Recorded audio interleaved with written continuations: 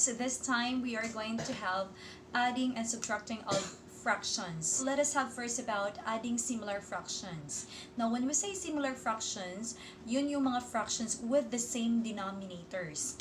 Just like this one, we have here 2 fifths plus 1 fifth. So, mapapansin natin na the denominators are the same, 5, 5. So, if the denominators are the same, we call them similar fractions. So, kapag fractions are similar, so very easy lang to add or subtract them. So, just add directly yung numerators, i-add lang nato diretso ang numerators. So, 2 plus 1, that's 3.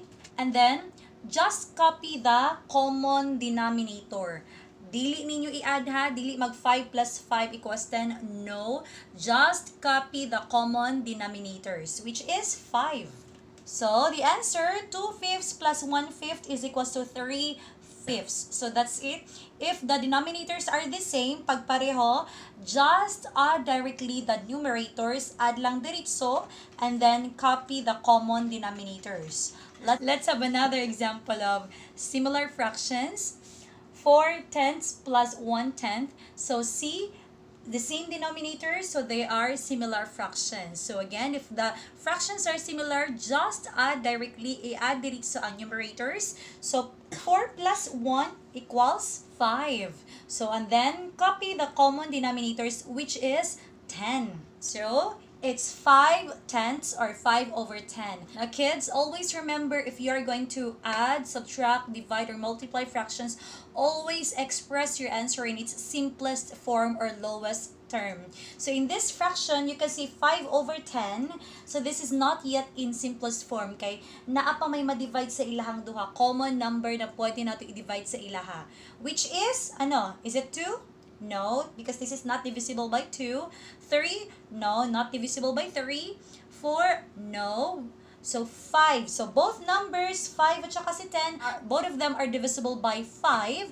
So, therefore, silang duha, pwede na ito ma-divide by 5 to get the simplest or lowest term. So, 5 divided by 5, 1. 10 divided by 5, 2. So therefore, the final answer is 1 half. So 4 tenths plus 1 tenth equals 1 half. So that is the process about adding similar fractions. The same lang also in subtracting dissimilar fractions. This time, let's have subtraction. So 3 sevenths minus 2 sevenths, the same denominator, so they are similar fractions. Kapag similar fractions, just subtract directly the numerators. So, diritso nato i-subtract ang numerators. So, 3 minus 2 is 1. And then, copy the common denominator, which is 7. So, the final answer is 1 7 or 1 over 7. So, let's have another example. 20 over 35 minus 5 over 35. Still similar fractions because denominators are the same. So, kapag ganyan, diritso nato i-subtract ang numerators. So, 20 minus 5, 15. And then, just copy the common denominators, which is 35. So, it's 15 over 35. Now, look at the answer. Unlike this 1 over 7, si 1 over 7 is, is already in its simplest form. Itong si 15 over 35, it's not yet in simplest form. Hindi pa siya naka-simplest form. Because, naapay number na pwede na to ma-divide sa ilahang duha, which is number 5. Both 15 and 35 divisible by 5. So, let's divide both numbers by 5. So, 15 divided by 5 equals 3. 35 divided by 5 equals 7. Therefore, the final answer is 3 over 7 or 3 sevenths. So, the, the difference of 20 over 35 and 5 over 35 is 3 sevenths or 3 over 7. So, those are the process of adding and subtracting similar fractions. Very easy. Now, let's have adding and subtracting of dissimilar fractions. When we say dissimilar fractions, fractions with different denominators. Just like this example, 1 third plus 2 fourths. So, si, tingnan natin ang denominators, 3 at saka 4. Di ba magkaiba sila, different sila. So, that's why they are called dissimilar fractions. Magkaiba ang kanilang denominators. Now, how are we going to add kapag dissimilar fractions? So, this different process. So, first, this is actually the usual process. So first, we are going to change these fractions into their equivalent fractions. Gagawin natin sila into their equivalent fractions. Pero paano yan? Equivalent fractions na the same denominators or with common denominators. So, is to solve the LCD or least common denominator. Now, how to get the least common denominator? So, let's get first the 3. And then, let's do the skip counting. So, let's have the skip counting 3, 6, 9, 12. And then, let's have number 4. Let's copy 4. Let's do the skip counting. 4, 8, 12, 16. Now, let's look at their the numbers. The multiples. Ano yung common na multiples? 3 at saka 4. So, the least common multiples nilang dalawa. So, it's 12, right? 3, walang 3 dito. 6, walang 6 dito. 9, walang 9. 12, may 12 dito. So, si 12 is the least common multiple. So, therefore, LCD of both numbers is, or least common num or the least common denominator is 12. So now, this time we are going to find or solve for the numerators for us na makuha natin yung equivalent fractions ni 1 third at saka ni 2 fourths. So how to do the uh, how to do that one? So first, divide tayo. So this number, yung first na number, partner niya is yung first na number din. So let's do it. 12. So let's do it. 12 divided by 3, 4. 4 times 1, 4. So we have now the 4 as the numerator. So C 4 over 12 is now the equivalent fraction of 1 third. Let's have that equivalent fraction of 2 fourths. 12 divided by 4, 3. 3 times 2, 6. So the equivalent fraction of 6, so the equivalent fraction of 2 fourths is 6 over 12. So actually, this 1 third is equal to 4 12. That's why it's called equivalent fraction. 2 fourths is equal to 6 over 12. Now, since they have now the same denominators, so we can now add them. So, pwede na to sila i-add. 4 plus 6, 10. Then, copy the common denominator, which is 12. So, we have now 10 over 12. Now, since 10 over 12 is not yet in its simplest form, let's simplify it. So, isip tayo ng number na pwede nating ma-divide sa kanilang dalawa. 2. Are they both divisible by 2? Pwede ba sila duha may divide by 2? Yes, because 0 is the last digit and 2 is the last digit. So, 10 divided by 2 is 5. 12 divided by 2 is 6. So now, na, meron pa ba 5 over 6? Is there a number na pwede pa na itong ma-divide sa ilang duha? Pwedeng ma-divide? There's none. So therefore, 5 over 6 is the simplest form of the of 10 over 12. Third, so therefore, kids, the sum of 1 third and 2 fourths is 5 over 6. So again, gawin sa gato ni teacher. Get first the LCD of these fractions, least common denominator.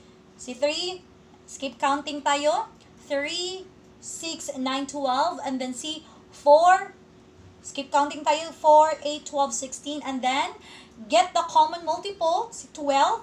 So, ilagay natin sa baba, 12 as the common denominators. Uh, si 12 now, ang kanilang least common denominator is LC or LCD. And then after that, solve for the numerators. 12 divided by 3, 4 times 1, 4. 12 divided by 4, 3 times 2, 6. So that's why yung equivalent fractions ng dalawang fractions na to ay si 4 over 12 at saka si 6 over 12. And meron yan, uh, that's one of the activities sa module natin, finding the equivalent fractions. So next, because they have now the same denominators, we can now then add them. Pero kids, I have another way of adding fractions or adding dissimilar fractions. It's actually um faster or like it's, it's another technique for you to add fractions or even subtract fractions. So this is what we call butterfly method. So let's try. This time, let's try the butterfly method using the same fractions. And let's see kung saan ba ang mas madali. Itong usual na process or itong butterfly method. So, itong butterfly method, we are we can use this one in adding and subtracting dissimilar fractions. Fractions na magkaiba yung denominators. Now, how to do it? Ito lang. 1 times 4, 4, and then 2 times 3, 6, and then both denominators, let's multiply. 3 times 4, 12. So, we have there 4, we have there 4 and 6. Let's just add them. Si add lang nato sila. 4 plus 6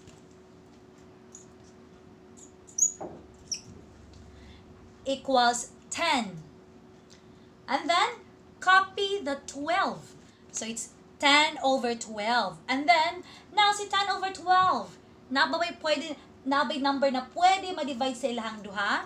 So, si 2, pwede ba ma-divide, ma-divide sa ilahang duha without any remainder? Yes, because 10 and 12 are both divisible by 2. So, 10 divided by 2, 5. 12 divided by 2 equals 6. So, see, using the butterfly method, we we arrive the same answer which is 5 over 6.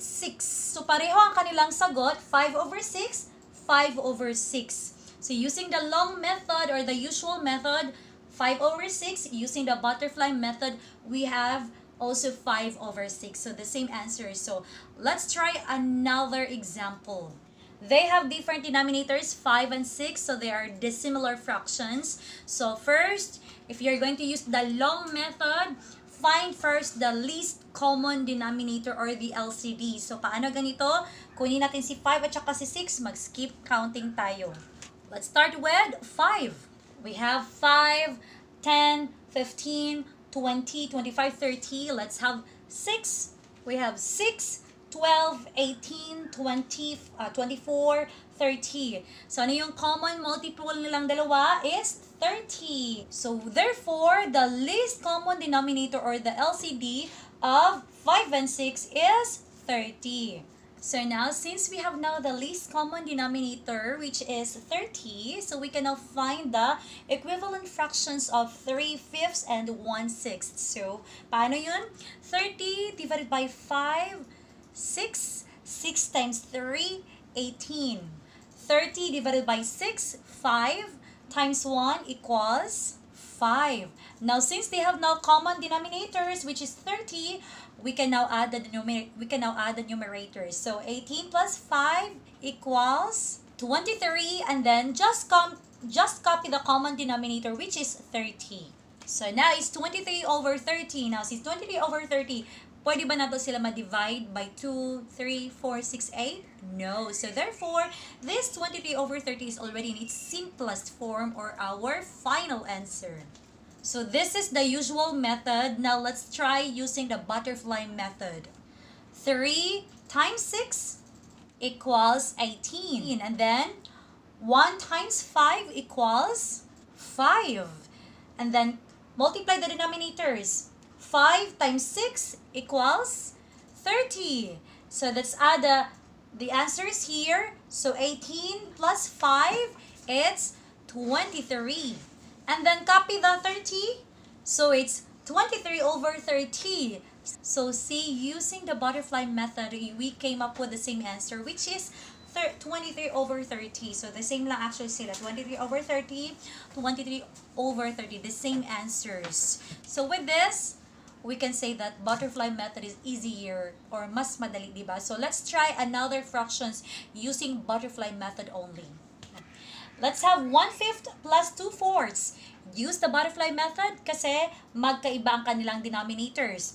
1 times 4, 4. 2 times 5, 10. And then 5 times 4 equals 20. Let's add 4 plus 10 equals 40. And then just copy the denominator which is 20. So, it's 14 over 20. And then, tanawin na to, napabay pwede ma-divide sa ilaha? Yes, napa, both numbers are divisible by 2. So, 14, so 14 divided by 2, 7. 20 divided by 2, equals 10. So, therefore, since wala naman tayo pwede ma-divide kay 7 at saka kay 10, the final answer is 7 over 10. So, easier lang, right? So, let's try fractions with uh, with whole number or mixed uh, with whole number, mixed numbers. So, let's have this one. 2 and 3 fourths plus 3 and 1 half. Just multiply the numerator and denominator. 3 times 5, 15. And then 4 times 1, 4. And then multiply the denominators. 4 times 5, 20. After that, add first the whole numbers.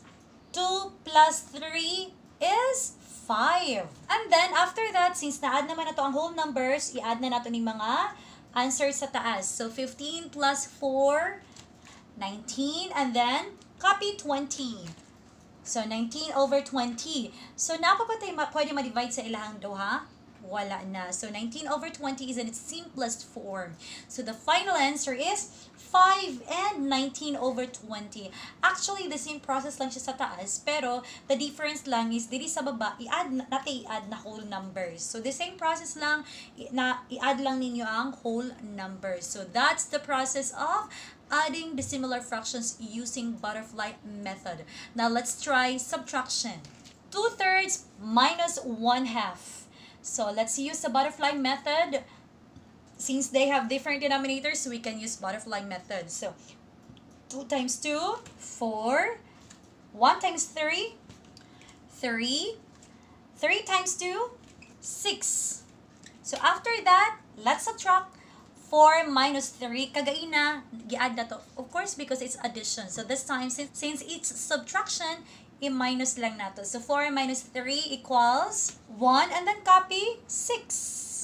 So, the answer or the difference is 1 over 6 or 1 sixth. Let's try another example. 7 over 10 minus 1 half. Let's do the butterfly method. 7 times 2, 14. 1 times 10, 10. 10 times 2, 20. So, we can now subtract 14 minus 10 equals 4. And then just copy 20. So, it's 4 over 20. Now, napabay ma-divide sa ilaha kay 4 tsaka kay 20? Of course, yes. And that is number 2 or number 4. So, let's try it 2. So, 4 divided by 2, 2. 20 divided by 2, 10. So, 2 over 10. So, 2 over 10, napa ba yung ma-divide? Yes, naapa, which is number 2. 2 divided by 2, 1. 10 divided by 2, 5. So, therefore, the final answer is 1 over 5. So, or 1 or 1 fifth. So, that's all for adding similar and dissimilar fractions using the long method and using also the butterfly method. So, it's up to you kids kung ano ang gagamitin niyo yung usual na method ba or yung butterfly method. So, I hope you learned something from, from Teacher Algin's lesson this time. And again, kapag may tanong kay teacher, don't hesitate. Ayaw ka ulaw pang message kay Teacher Algin. Goodbye and see you next time.